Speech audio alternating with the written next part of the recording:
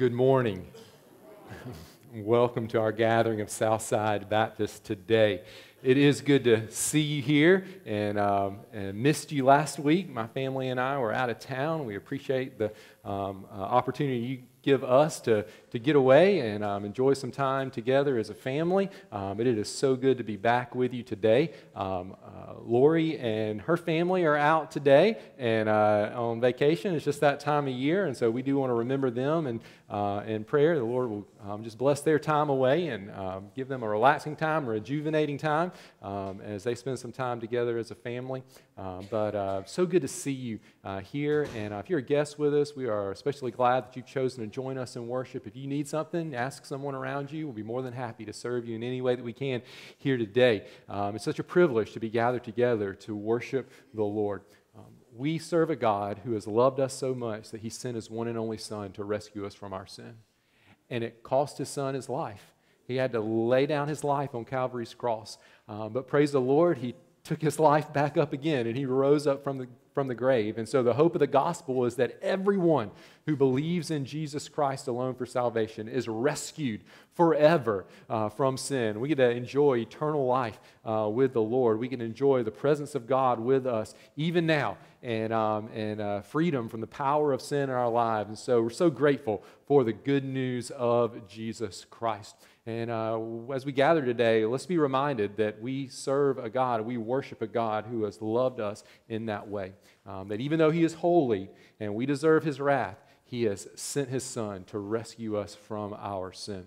Church family, I do want to remind you of some announcements. And uh, if you want to uh, take a look at your worship guide, uh, I won't go through all of them, but do want to highlight just a few. Uh, hard to believe, but uh, VBS is right around the corner. And so volunteer sign-ups are beginning today. And hopefully next week we will be kicking off our registration for all of our children who are going to be involved. Uh, but uh, in order for us to take care of all those kids all week and uh, share the gospel with them, we need lots of hands on deck. And so um, go ahead and be thinking about how you want to uh, volunteer uh, for Vacation Bible School and go ahead and be remembering VBS in your prayers. There's details in your worship guide about that. Uh, we also have our Boston uh, trip coming up in a few months, and I've had some people telling me that they're interested in going or planning on going, and uh, we'll kind of be finalizing who all's going um, very soon. The spots are filling up, our spots are limited for that trip, and, uh, and so if you're interested in going, want more information, please be sure to see me after the service, and I'll be glad to answer any questions that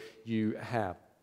Also, um, we, uh, you'll see in your worship guide that uh, next Sunday evening we're going to have a, a, ice cream dessert uh, social. And um, if you can, make plans to, to be here for that. Bring something to eat. It doesn't have to be dessert. I mean, if you want to bring, you know, steak, you know, I mean, come on I mean, that's fine. I mean, I'm not going to tell you not to bring it. Um, but, uh, but anyways, bring something fun to eat and uh, we'll just have a good time together. Um, other announcements in your worship guide, um, I'll uh, let you take a look at those um, on your own. Um, Caitlin is going to read a couple of verses from the book of Psalms as we prepare our hearts to worship the Lord today. He who dwells in the shelter of the Most High will abide in the shadow of the Almighty. I will say to the Lord, my refuge and my fortress, my God in whom I trust. Let's stand together and let's sing How Firm a Foundation. Let's lift our voices to the Lord.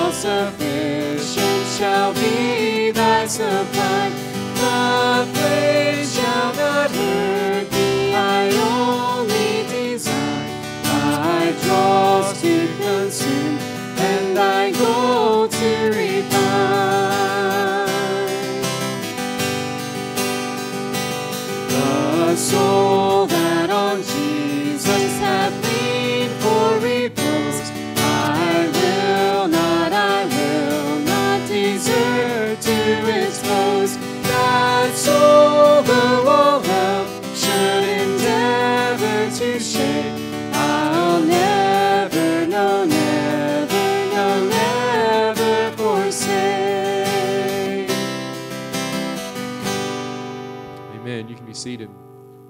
One of the privileges, always so good to see them and hear from them, and thankful for what the Lord is doing through them, and um, also for the challenge that they gave to us. And because Christ went to the cross, we have a message to tell. We have good news to share with people. And um, so let's stand together and um, let's sing about that cross where my Savior died, down at the cross. Glory to his name.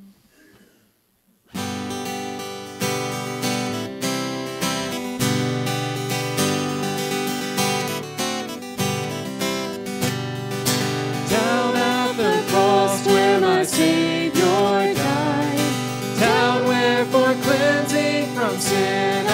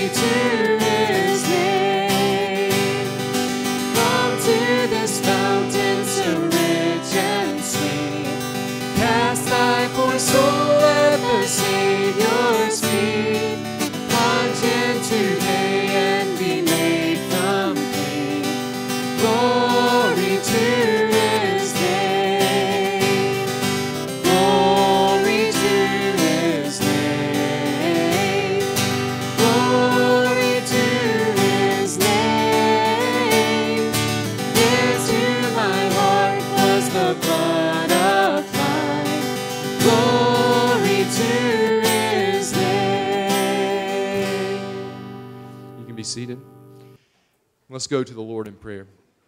Heavenly Father, we bow before you and we thank you so much for how glorious your name is. Father, thank you for the cross of Christ. Thank you for that cross where our Savior died. Thank you for that cleansing from sin. Thank you for the blood of Christ being applied to our lives. And Father, thank you that um, that, that fountain of blood, Lord, um, though that sacrifice is finished, sacrifice of Jesus is all complete. Thank you that that blood continues to cleanse us from our sin, that it keeps us clean, as we just sang. Father, thank you so much uh, for that purification that just continually happens in our lives.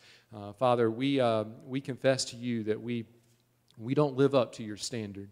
Uh, Father, it's only by your grace that we are saved. It's only by your grace that we um, continue in- in fellowship with you. Uh, Father, if there is sin in our lives today, Lord, we pause and we, um, we confess that to you. uh, Father, uh, bring it to our attention so that we can, um, we know it's there, Lord, just help us to see it. Um, and uh, so that we can bring it to the cross and, and confess it and, and, and find um, just uh, forgiveness and, and renewal in our, in our fellowship with you, Father.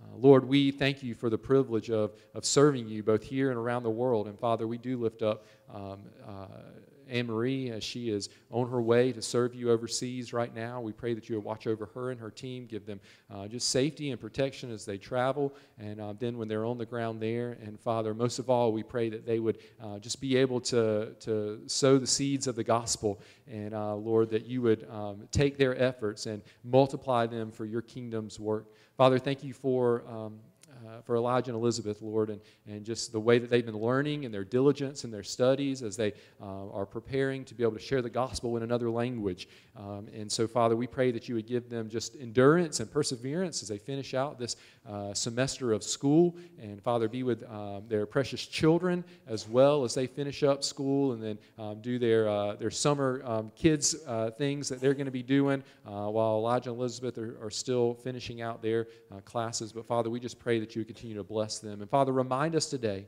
um, that every one of us, um, just as Elijah encouraged us, is to be busy um, investing in your kingdom. Father, using the gifts and the resources that you have given us, Father, to help people know that there is a Savior, that his name is Jesus, and that he is worthy of our lives. Father, as we continue in this service, Father, speak to us, encourage us, challenge us. And uh, Father, may you receive the glory that is due your name. In Jesus' name we pray. Amen. We're going to stand and we're going to sing one more song uh, before we enter to our time of the preaching of the word. And, um, and so, if you would stand, we're going to sing, Yet Not I, but Through Christ in Me. And let this be just a declaration that even as we work for the Lord, we realize that it's Him that is working in us and keeping us close to Him all the way until we see His face one day.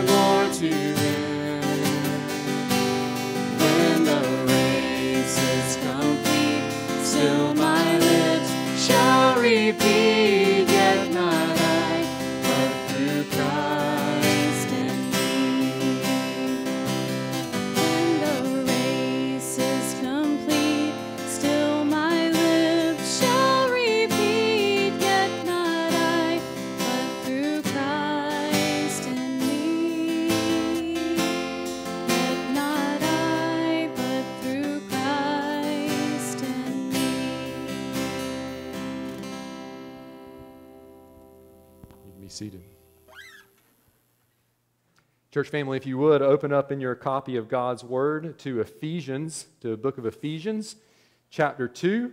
Ephesians chapter 2, verses 19 through 22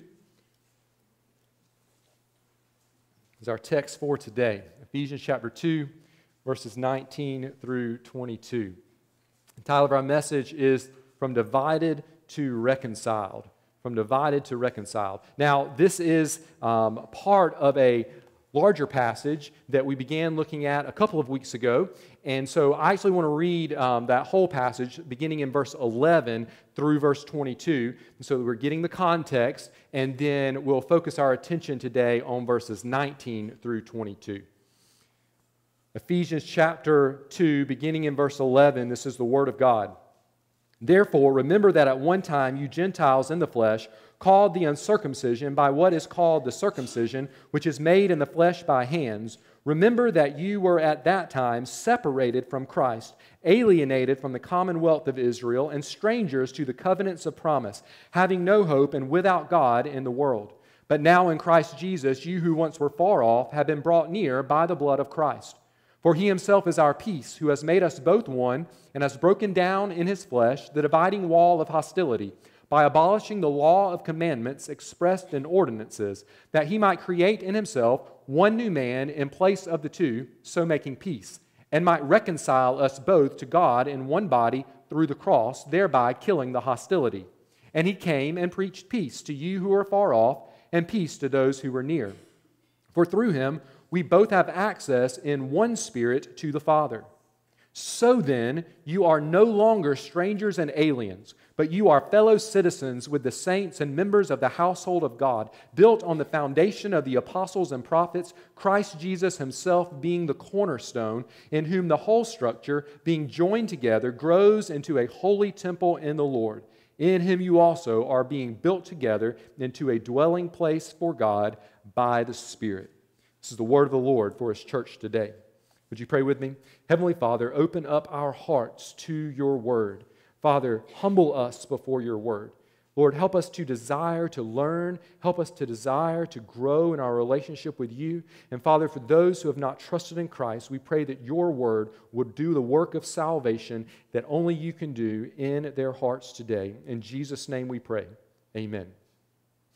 When I was a kid, I remember a conversation I was having with a friend of mine. And while we were, actually, I don't remember the conversation, I just remember having a conversation with a friend of mine. Um, we were pretty young, and uh, a man that we both knew, friends of ours, he, he walked up. And I remember um, he looked at my friend and he said, Hey, I'm trying to get your dad to join us for the alumni game at the school in a couple of weeks. I can't remember if it was an alumni basketball game or softball game or something like that, but it was the school that we went to. And um, and he was, they were having some kind of alumni uh, game.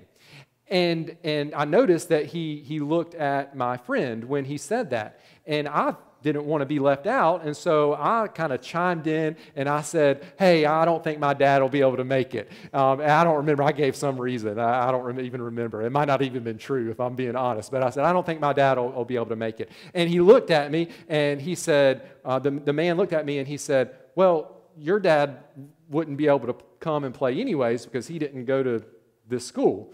And, um, and that, was, that was right. He was just speaking the truth. I had no clue what the word alumni meant, um, no, no, no, idea. And, uh, and we weren't from that town. Uh, my dad didn't grow up there. He definitely didn't go to school there. We had just moved there uh, a few years earlier. And, uh, and so he was just kind of letting me know this is an alumni game, even though I didn't know what he was talking about. Now, he wasn't being mean at all. Um, he wasn't being mean spirited, he was just speaking the facts.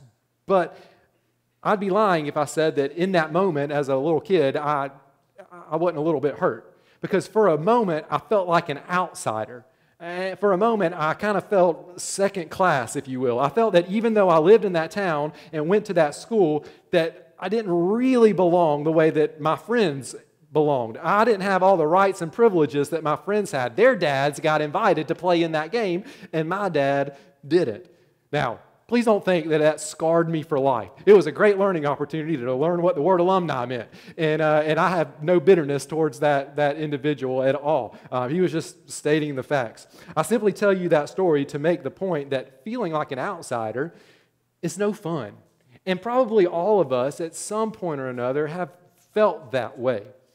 But unfortunately, it's really easy, even in the church, to divide ourselves into different levels of Christians and view some as more Christian than others and act in a way that makes some people, even fellow believers in Christ, feel like outsiders. We may say we believe that the gospel is for all peoples and that everyone who calls upon the name of the Lord will be saved and that all who are in Christ are equal in our standing before God. But in our practice, we may reveal that what we really believe is that even though everyone who believes in Jesus can be saved, there are different levels of Christians. Now, perhaps you're tempted to place yourself into a self invented upper level of Christianity. You look down on certain believers because they're different than you in some way. Maybe they have a different skin color than you, or speak a different language than you, or have a different family background than you, or dress different than you, or have been a Christian for less time than you. Or maybe you're tempted to place yourself into a self invented lower level of Christianity. In other words, you, you feel like yeah, I've trusted in Jesus, but man, I'm not fully in like those Christians are. I'm not fully in God's family the way those Christians are. I'm not really included among God's people. Brothers and sisters, our passage today destroys any notion that there are second class citizens of God's kingdom, that there are outsiders among God's family, or that there are outcasts among God's people. And as it destroys that, that false belief, it ought to destroy any arrogance that we might have toward other believers who we might be tempted to look down upon because of some difference between us and them. And at the same time, it ought to, ought to lift the spirits of believers who maybe perhaps feel um, less than fully accepted by God. This is a passage of Scripture that should lead us to celebrate the work of God that He has done and is doing for Himself in building a diverse yet unified people for his glory. Now, a couple of weeks we studied the first two sections of Ephesians chapter 2, verses 11 through 22. Uh, we divided um, that, that first part into verse 11 and 12, and then verse 13 through 18. And we looked at both of those parts a couple of weeks ago. Today we're going to study this third section, which is verses 19 through 22. So, really, it's part two of that uh, message from a couple of weeks ago. And so, we need to make sure we know the context. We don't just want to jump right into verse 19. Let me remind you of the main idea of the passage as a whole, and then what we learned from that first part, verses 11 through 18. Uh, Paul wrote Ephesians chapter 11, verse, uh, chapter 2, verse 11 through 22 to teach us this, church, that through the cross, Jesus created a new people at peace with one another and with God. This is the main idea for this whole passage, verse 11 through 22, that through the cross, Jesus created a new people at peace with one another and with God. Now remember, Paul is writing at a time where the division between Jew and Gentile was a very real division among people. I mean, this was a deep, deep, deep divide. It's hard for us to even understand in our day and time and in our uh, cultural context how deep the divide was between Jew and Gentile. And, and, and so we need, to, we need to think about this very real division. And even though Jesus came to unite Jew and Gentile, the threat of division within that early church was always lurking right around the corner, as it is in the church today. Verses 11 through 12, Paul called on these Gentile believers to remember their status before God saved them. I would encourage you to kind of scan your eyes through these verses as we uh, review for just a moment. If you'll remember, they were marked by hostile division between Jew and Gentile and marked by hopeless separation between them and God. And the reality is that the same is true for us. We are divided from one another and for all sorts of reasons, and we are divided and are separated from God because of sin. And so we learned this from verse 11 through 12 that we were once people marked by hostile division and hopeless separation. Remember, Paul said, Therefore, remember that one time you Gentiles in the flesh called the uncircumcision by what is called the circumcision, which is made in the flesh by hand. So he's talking about that division between Jew and Gentile. Then he goes on and says, Remember that you were at that time separated from Christ, alienated from the commonwealth of Israel, strangers to the covenants of promise, having no hope and without God in this world. And that's the separation that we experience between us and God, separated from the King of salvation and from the kingdom of salvation, from the promises of salvation, from the hope of salvation, and from ultimately ultimately the God of salvation. But the good news then starts in verse 3. You see that, but now. But now in Christ Jesus, you who once were far off have been brought near by the blood of Christ. And Paul then goes on in verses 14 through 18 to explain in detail how that is. What is it about this blood of Christ and what it means to be brought near to one another and ultimately to God. And so we learn in verses 13 through 18 that in Christ we are now a people united by a costly reconciliation. Friends, Jesus achieved this costly reconciliation, reconciling us to one another and us to, together to God. He achieved it by becoming our peace through his death on the cross and by proclaiming peace through the message of the cross. And so we see that Jesus destroyed the dividing wall of hostility. You see there in verse 14 and he created one new man in place of the two. He reconciled us both to God so that we, both Jew and Gentile, which means every believer in Christ, have equal access to God. And that equal access is seen in verse 18, if you'll look there for just a moment, where it says, For through him we both have access in one spirit to the Father. And that sets up the final section of this passage that we want to look at today. Verses 19 through 22, Paul gives, we could say, the result of that costly reconciliation that he's just described, which destroyed the hostile division and hopeless separation of verses 11 and 12. So, the third truth in this passage, which is kind of our main truth for today, is this Together, we are a people under holy construction. Where once we were a people that were marked by hostile division and hopeless separation, we are now in Christ a people who have been united by a costly reconciliation, and the result of that is that together we are a people under holy construction. Under holy construction. Verses 19 through 22, Paul gives the contrast to verses 11 and 12. Paul says in verse 19, So then, In other words, what he's about to say is the result of Jesus pouring out his blood on the cross for people who were divided from one another and separated from God. This is the result of that costly reconciliation we read about and studied in verses 13 through 18. He says, So then, you are no longer. There's a change that has happened. You are no longer, he says, strangers and aliens. Brothers and sisters, where once we were strangers to the covenants of promise, we are no longer. Where once we were alienated from the citizenship of God's kingdom, we are no longer. Where once we were divided from one another, we are no longer. Where once we had no hope, we are hopeless no longer. Well, then what are we? If we're no longer those things, what are we? Well, Paul gives three pictures of, of, of who we are now um, as a result of this costly reconciliation, verses 19 through 22. We're going to talk about these three pictures today. God's people are described as, number one, citizens of a kingdom. Number two, members of a family. And number three, the building pieces of a temple. But not just any kingdom, not just any family, not just any temple, but, but God's people are described as citizens of God's kingdom, as members of God's family, and as the building pieces, the building material of God's temple. Look at verses 19 through 22. He says, So then you're no longer strangers and aliens, but you are, here's picture number one, fellow citizens with the saints. There's the citizenship in a new kingdom. Picture number two, and members of the household of God. There's the picture number two of the members of a family, family of God. And then picture number three.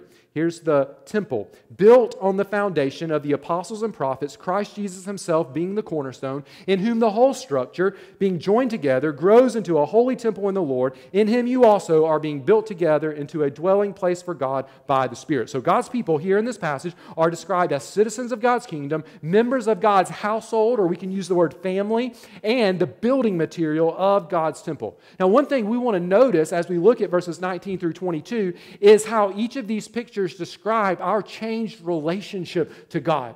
And then we'll come back at the end and we'll talk about our relationship with one another. Where once we were hopelessly separated from God, friend, now in Christ we are citizens of his kingdom members of his family, and pieces of a structure which is filled with the very glory of God. And it's because of the cross of Christ. Because of the cross of Christ, we who have believed in Christ Jesus by God's grace are brought near to God. And the transformation in our relationship, it's mind boggling, it's breathtaking. Let's look at each of these three these pictures, and I want to give you a truth statement to go with each one, okay? So, a statement to kind of help us wrap our minds around and maybe summarize somewhat what Paul is saying here. So, consider this first picture. We were enemies of God's kingdom, but now we are citizens of God's kingdom with all the rights and privileges that come with this citizenship. And so we could say it this way here's a truth statement for us. As citizens of God's kingdom, all believers equally enjoy the rights of heavenly citizenship. As citizens of God's kingdom, all believers equally enjoy the rights of heavenly citizenship. Let's consider that heavenly citizenship and those rights that we get to enjoy for a moment. The Ephesians understood well the concept of citizenship in the world in which they live. In that day and time, some people were citizens of Rome, and Rome was a large and powerful empire. Some people were not citizens of Rome. If you were a citizen, citizen of Rome, you enjoyed many rights and privileges that those who were not citizens of Rome did not enjoy. The Ephesians understood the concept of citizenship. But friends, what Paul is saying here is there a far better citizenship than that of Rome or any other earthly kingdom or country. There is a heavenly citizenship in the kingdom of God, and all who are in Christ are a part of that kingdom, are full citizens of that kingdom. What is so good about this kingdom of God? Well, we could spend much time talking about it, but just think about it this way. In this kingdom of God, we have the crucified and risen Son of God as our eternal protector, eternal provider, and eternal king. Go back and, and, read through that first part of chapter 1 or all of chapter 1 and remind yourself of the eternal provision of blessings that we enjoy as citizens of God's kingdom. Go back and remember that we have been blessed in Christ Jesus with every spiritual blessing in the heavenly places. What an eternal provision God has given us in his kingdom. And then you could jump ahead to the end of the book of Ephesians, to the last half of chapter 6, and there you'll read about the eternal protection that we have from King Jesus, who protects us from the evil one as we battle against him. Know how good it is to be a citizen of God's kingdom. Friend, it ought to cause us to hold very loosely any earthly citizenship that we enjoy. It ought to cause us to eagerly sacrifice any earthly attachments that would keep us from being attached to God and His kingdom. And it ought to lift the spirits of anyone who feels alone or looked down upon or, or, or, feels like they lack any meaningful sense of belonging. Friend, if you are in Christ, you are a citizen of the kingdom of God. Now I want you to notice the second picture. Notice the second picture. We were rightfully rejected from fellowship with God, but now in Christ, we are members of his family, members of his household. And so here's another truth statement for us. As members of God's family, all believers equally call God our Father. As members of God's family, all believers equally call God our Father. This household language ought to bring our minds back, take our minds back to verse 18. I read it a minute ago, but it's so good I'm going to read it again. Verse 18 says, For through him we both have access in one spirit to the Father. Brothers and sisters, because of our sin, we deserve to be separated from God forever, but in Christ, we say these words, but I mean, let it sink in for a moment. We have access to God. And it's not access to a domineering dictator, but it's access to a loving Father, someone who loves us and cares for us deeply. We who had lost our place at the table of God. Think about this household language. We had, we, we, had, we had full access to the table of God in the Garden of Eden, and we lost that through sin we had full access, and so now we're, we're, we're, we've lost our place at the table, but through Christ, we have been adopted back into God's family. Not as, not as rejects, not as outcasts, but we get to pull a chair right up to the table with God as our Father. And it's by the blood of Christ that we now can run into the presence of God, calling Him Father and enjoying that access that only a child of the master of the house has virtue by nature of that father child relationship. Not everyone gets to run into the, into the room of the master of the house, not everyone has full access. Some people are barred from entry at all. Some people can only come in when they're, when they're asked to come in. Some people have to knock, but a child can just run right in. Friend, that's the access we have to God. He is our Father, and we all have that access in Christ. Christian, are you taking full advantage of your access to your Heavenly Father?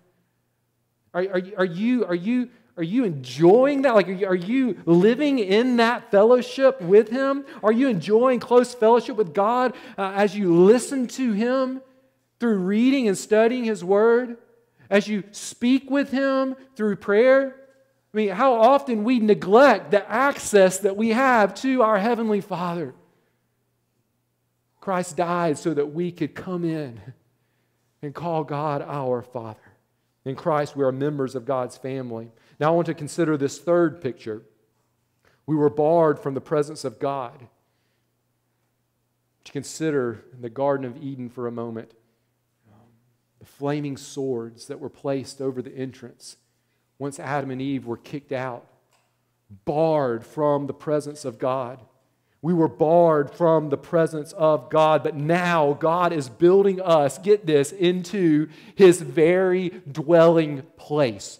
Isn't that incredible? Like we were, we were completely kicked out from the presence of God, and now it's not like God saying, "Hey, I'll let you look over the fence and, and kind of get a little glimpse of my presence." No, He is building us into His very dwelling place. We are pieces of God's temple. So here's a third truth statement: As pieces of God's temple, all believers equally behold and manifest the glory of God. As pieces of God's temple or if you don't want to use the word pieces, you could use the word stones, maybe. Uh, the Bible uses that word as well stones in the temple. Uh, as pieces, as building material of God's temple, all believers equally behold and manifest. So to behold means to, to, to see it and take it in, right? And then to manifest means to make it known the glory of God. Now, Paul spends more time on this picture than the other two, and so we're going to spend a little bit more time on it as well than we did the other two. We can think about Paul's description of this temple in three parts, okay? First, the pieces of the temple. Second, the progression or the growth of the temple. And third, the purpose of the temple. So let's look at that in these three parts, okay? First, let's look at the pieces of the temple. Simply put, the pieces of the temple are the people of God. As the Apostle Peter said in one of his letters, we are living stones. That's what he said. We're living stones. See, God is not building a structure of bricks and mortar. The tabernacle of Moses there in the Old Testament, which then became the, the more permanent structure, the temple of Solomon, those were merely a foreshadowing of a far greater temple. And that temple is the Lord Jesus Christ and all those who are joined together with him by his blood, by God's grace, through faith in Christ Jesus. And it's an important point to make as we just, just consider the fact that the temple is made up of people. God's dwelling place is made up of people. It's an important point to make because so often we wrongly associate the word church with a building where we meet for worship. Now, you don't see the word church in this particular passage, but Paul uses the word church all throughout this letter, and he's describing the church here with these three pictures. If you want a, some pictures of what the church is, what's these three pictures? And one of them is the temple of God. But the temple, the church, is not a building. Friend, God dwells among his people whom he is forming with his own hands. He does not dwell in a building that we construct with ours. The church is a people to whom we belong, it is not a place to which we go. You think about that, we'll realize maybe this week, think about the times you use the word church. We often use the word church to refer to a place to which we go rather than to a people to whom we belong. And, and the problem with that is that sometimes that really can skew our thinking about what the church is. If we're not careful, we will be more devoted to a, a building or a place um, than we'll be devoted to the people who are actually the church. Or we'll think that it's only in a certain building or, or location that we worship God when really God is dwelling with his people all the time. And so it's important for us to realize that the, the, the, the, temple of God here, that's a, that's, a, that's a picture of the people. We are the parts of this temple. Now, notice that there's different parts of the pieces. There's different categories of, of pieces here in this temple. There's the foundation, just like with any building, there's a foundation, and then there's the rest of the structure. And now, the foundation, of course, is the most important part of, uh, of a building, and, uh, and everything is, of course, founded upon that. It's called the foundation. But then the foundation itself, Paul splits that into two separate parts. Okay, so don't, don't get lost here in, in the details. We've got the, the temple, this picture of the temple, we've got the foundation, and then the rest. And then in the foundation, we have two parts of the foundation. Look at what Paul says here beginning in verse 20. He says, We're built on the foundation of the apostles and prophets. Let's start there with that part of the foundation. The apostles and prophets. Who, who in the world is he talking about? Well, the apostles were the select group of men who were eyewitnesses of Jesus and who were specifically chosen by Jesus himself to be the front runners in proclaiming the message of Jesus. These were guys like Peter and James and John and Matthew and Bartholomew and, and Thaddeus and, and, and even Paul himself came at a little bit later time, but he got to be a part of this group of apostles. And we'll actually see Paul talk about that in chapter 3. What about the prophets? Well, the prophets that Paul is referring to here, often we go right back to the Old Testament, but I don't think that's the prophets that Paul is talking about here. Um, he, he's talking about the people specifically gifted in the early church with proclaiming the message of Jesus as taught by the apostles. Remember, this was before uh, the, the New Testament was written, it was being written. So they didn't have the, the, the, the Gospels to turn to. Uh, they had to rely on the eyewitness testimony of the apostles and then those who had especially been gifted with the gift of prophecy who faithfully proclaimed the message of Jesus as passed down by the apostles. So, this foundation is made up of apostles proclaiming the message of Jesus and these New Testament prophets proclaiming the message of Jesus. But the foundation is only as good as the cornerstone. And so, Paul further describes the foundation by saying Christ Jesus himself being the cornerstone. Now, what is the cornerstone in a building? Well, the cornerstone is the, is the first piece of block that's laid that, that then serves as the, the guide, the rule, the standard for the rest of the foundation. And then the rest of the building that is built upon the foundation. If the cornerstone is good and set right, then the rest of the building will be good to go. Friend, our cornerstone is the best cornerstone that we could ever have. It is the Lord Jesus, the one who died on the cross to destroy our hostile division and hopeless separation. Jesus, the one whose blood reconciled people to God, to one another. He is the cornerstone.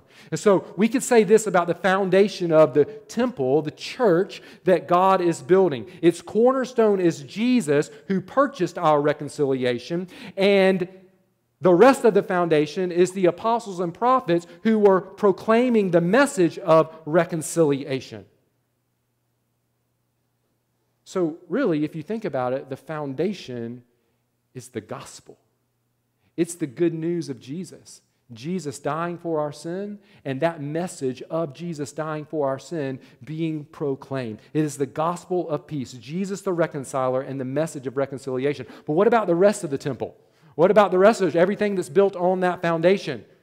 Well, that's all the people who, having heard the message of reconciliation and having believed in Jesus, the cornerstone, who purchased our reconciliation, have now been reconciled to God by, uh, by the blood of Jesus and been reconciled to one another.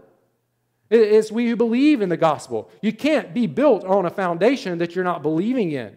You can't be a part of being founded on a cornerstone in whom you have not believed. But if you have believed in Christ, then you get to be a part of this temple. Every Christian, both Jew and Gentile, is what Paul is saying, makes up this temple of God. So that's the parts or the pieces of the temple. What about the progression, the growth of this temple that we see here? What we see is part of this temple is complete and part of it is still under construction. Part of it is complete, part of it is still under construction. Now, the part that is complete is the foundation, which includes the cornerstone. Remember, the cornerstone is Jesus, who is the way of salvation, and the rest of the foundation is the message of salvation, which was the message of the apostles and those New Testament prophets, which that message was written down in what we call the New Testament, which is a truthful explanation of the Old Testament. And so put together, we have the Word of God. And that is not changing. It is unchanging. It's not under construction. Jesus is the unchanging way of salvation as the cornerstone, and God's Word, which is the message of the apostles and prophets, is the unchanging message of salvation. Church, God has already laid a cornerstone.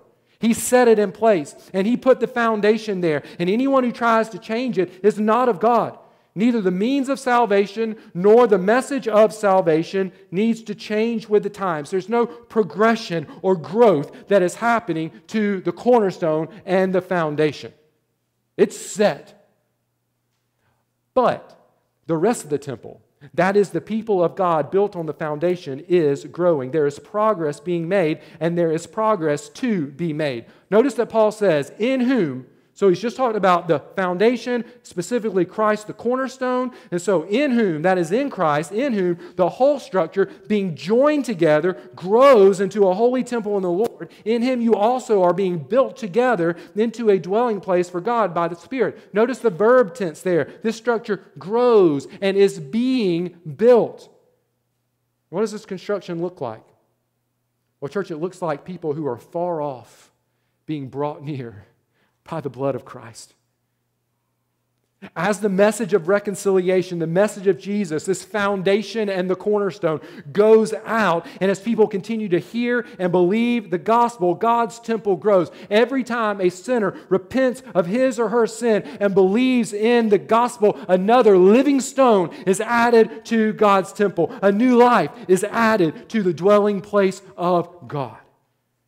Those who are already stones in God's temple are also growing in maturity. You see, this temple is growing numerically. New stones are being added as people believe the gospel, but it's also growing in its health, in its sturdiness, in its maturity in Christ. Even once we are placed as stones in this temple, there's still growth to happen in our lives. And Paul actually talks about this in chapter 4, where he calls the church to grow up in every way into Him who is the head, into Christ.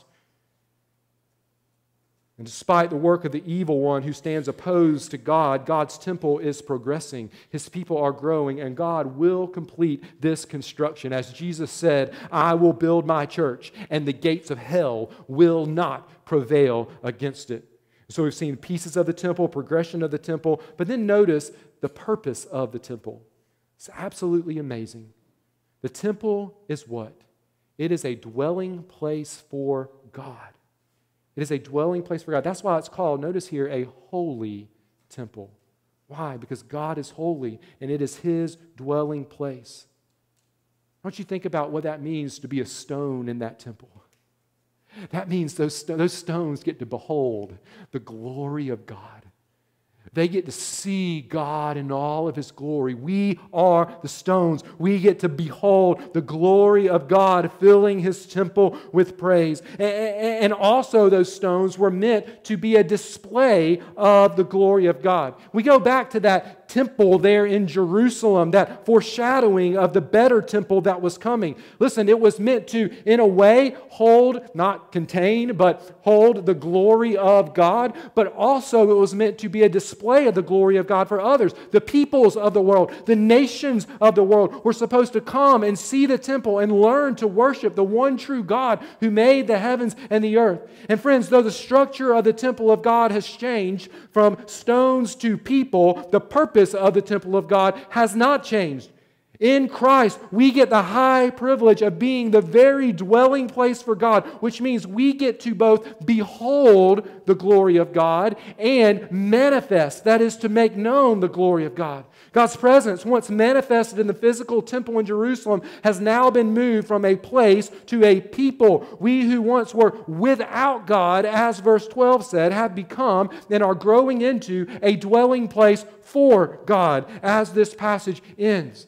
As God's temple church, think about it this way we have a front row seat to beholding the glory of God. And we get a front line position in the mission of manifesting the glory of God, making it known to the nations. And Paul's actually going to talk about that in chapter 3. Think about it. The holy God, who can only dwell in holiness, has taken sinners and he has made us holy by reconciling us to himself through the blood of Christ so that we are now the very dwelling place of the almighty holy God. Church, this transformation is truly mind boggling and breathtaking. If I could offer just one brief yet vital point of application at this point, it would be this. If God is a holy God, and therefore his temple is a holy temple, then, friend, there is no place for sin in the temple of God. Again, don't think I'm talking about a building, I'm talking about us as the people of God. There's no place for sin in our lives.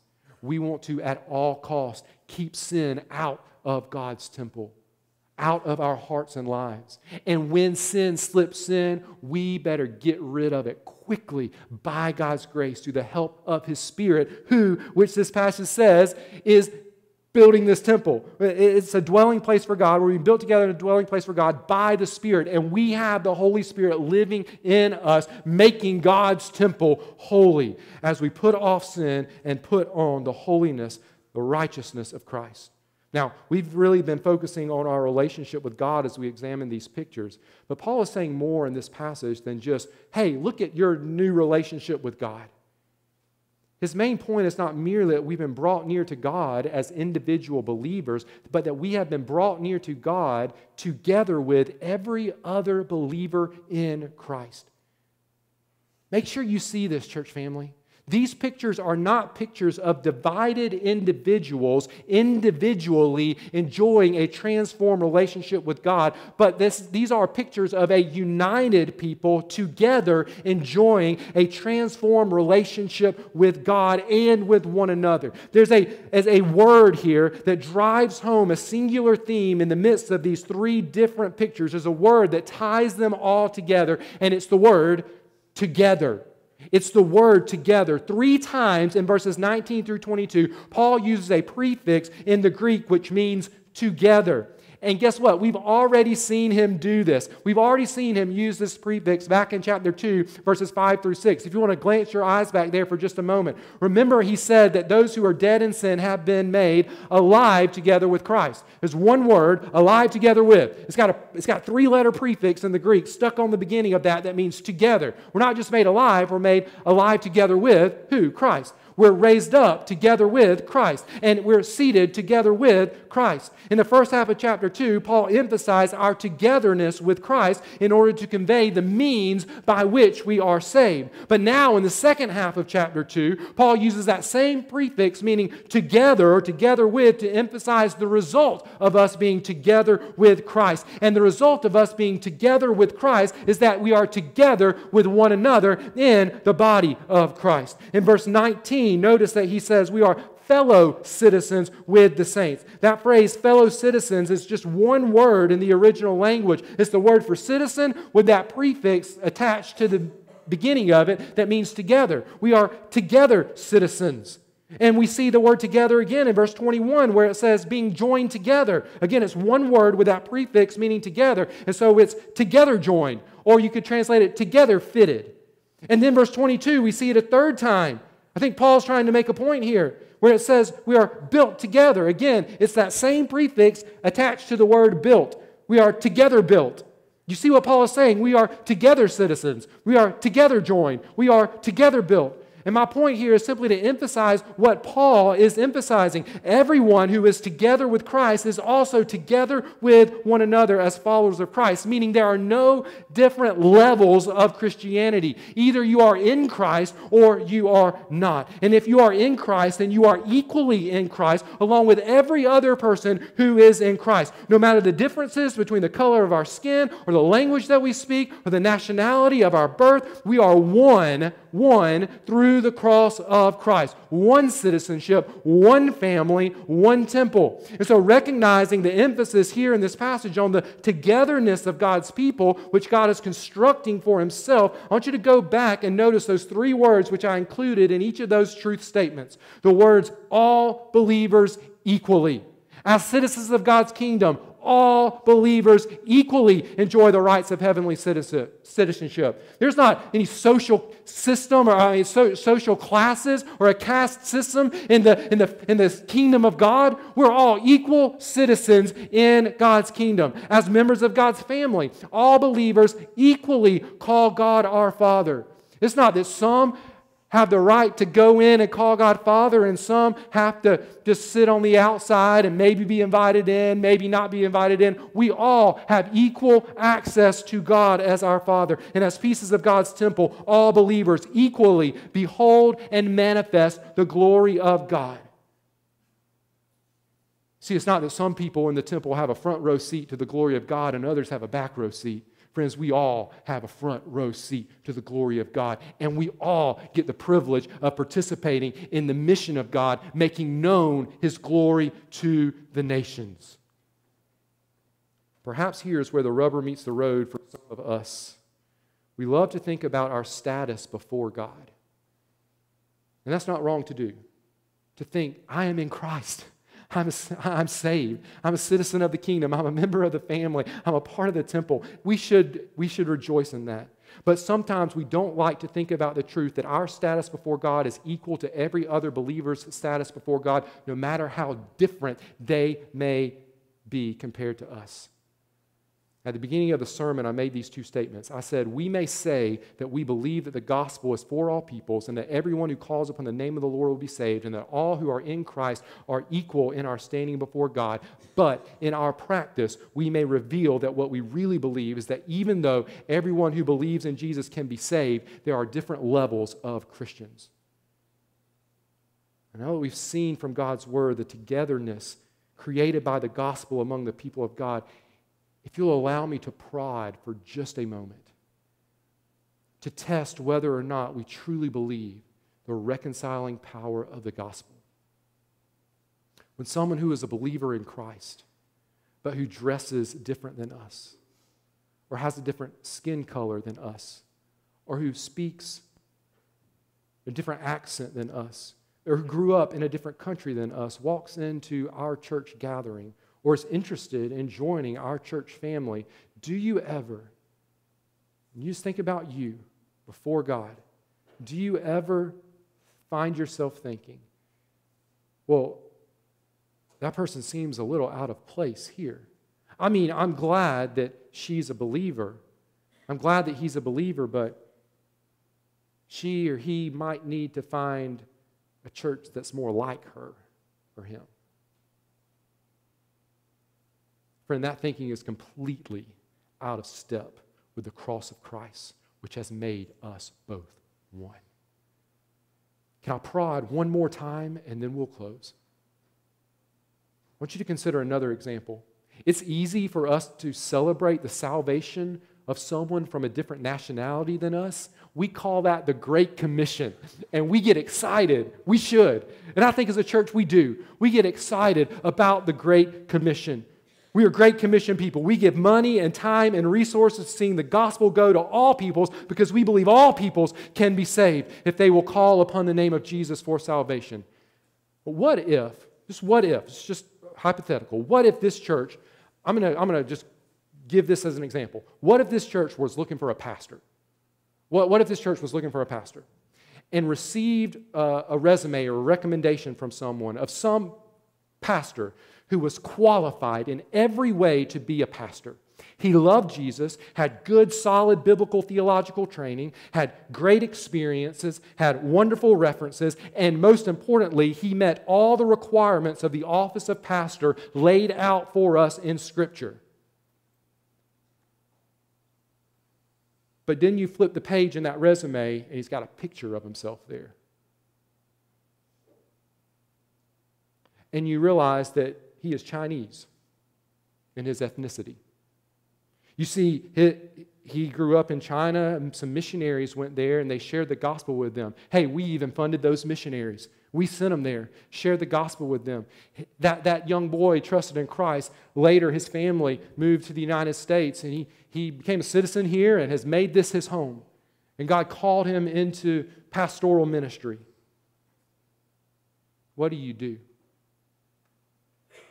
Is he no longer qualified to be the pastor of this congregation because he looks different than most, if not all of us? What if he was of Hispanic origin or African origin? In other words, what if he didn't look like most of us here today? Church, if we are willing to call him a brother in Christ, but say that simply based on his family background or the color of his skin or the shape of his face or the accent with which he speaks, that we could not submit to his leadership in our church, then, brothers and sisters, we are guilty of denying the very gospel of Jesus Christ that we claim to believe and that we say that we proclaim. For the cross, all peoples stand guilty before a holy God, and through the cross, all peoples who believe in Jesus are equally saved and given equal status in God's kingdom, in his family, and among his people whom he is building for his glory. And as we'll see as we continue into chapter 3, actually God's glory shines brightest when the church looks as diverse as it possibly can. It's at the heart of our passage of Scripture today. There are no second class citizens of God's kingdom. There are no outsiders in God's family, and there are no outcasts among God's people, His temple. Are there things that make us different? Absolutely. And, and, and are all people equally qualified for every position of service within the church? No. Paul's actually going to talk about that in chapter 2, where, uh, excuse me, chapter 4, where he talks about we have different gifts and different abilities. The church is a diverse people, but in our standing before God, we are equal. Equal citizens of God's kingdom, equal members of God's family, equal stones in God's temple. Together, together, we are a people under holy construction as the triune God God, the Father, Son, and Spirit, we see the triune God in this passage as He builds His people through the finished work of Christ the Son and the continual work of the Spirit, saving sinners and uniting us in peace to God and to one another. Praise God that through Jesus we go from divided to reconciled for the glory of God. Would you pray with me? Father, thank you for the gospel that unites us to you and unites us to one another. Father, help us to live out faithfully the salvation that you have so graciously given to us, the salvation that has transformed us. Thank you for Jesus, our Savior.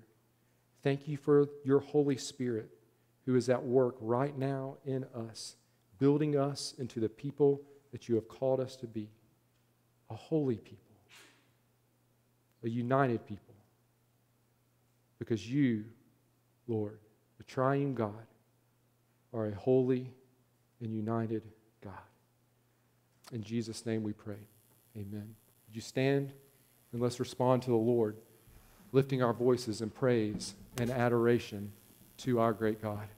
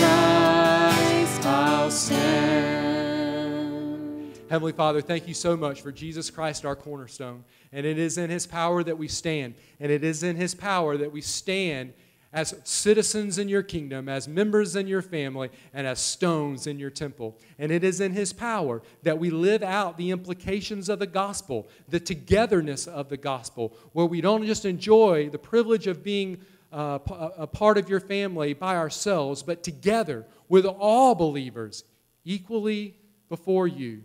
Father, we live out the gospel. Help us, Father, by your power in us for the praise of King Jesus. And it's in his name we pray. And all God's people said, Amen.